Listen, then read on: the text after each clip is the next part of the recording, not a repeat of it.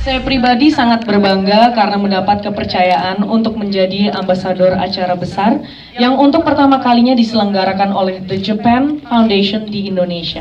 Uh, memang pertama-tama aku pernah bekerja sama dengan uh, FTV Jepang, uh, yaitu When You Wish Upon Sakura itu bersama Fuji Television Japan.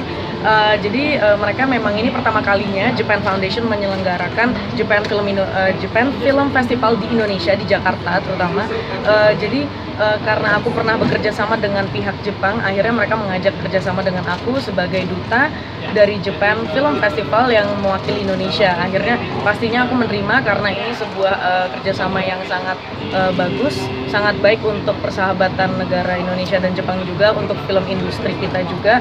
Uh, jadi memang ini sebuah hal positif yang harus kita uh, dukung sebagai orang Indonesia karena uh, dari sini film-film kita juga bisa uh, saling bertukar gitu jadi bertukar budaya pengetahuan dan film-film juga ada rencana nggak mau main di film Jepang lagi kalau misalnya ada tawaran untuk main film Jepang pastinya aku mau banget karena uh, cara mereka kerja sangat baik uh, disiplin on time dan aku belajar banyak banget dari kru Jepang juga dan pemain-pemain di Jepang. Dilanjutkan film, film Jepang favorit kamu apa sih yang paling membekas kalau film Jepang yang aku paling suka itu Spirited Away Spirited Away kenapa tuh?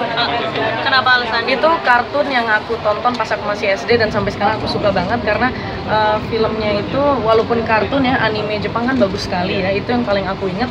Uh, ceritanya itu mengenai uh, anak yang uh, mereka anak-anak uh, yang mereka ingin uh, tumbuh dewasa tetapi mereka juga harus diarahin gitu. Jadi uh, tapi dari film Spirited Away itu juga anak-anak kecil yang nonton kartun itu bisa dapat belajar moral positif juga. Jadi sebagai anak kecil juga harus bertanggung jawab gitu. Jadi ada sisi-sisi moral positifnya dari film Spirited Away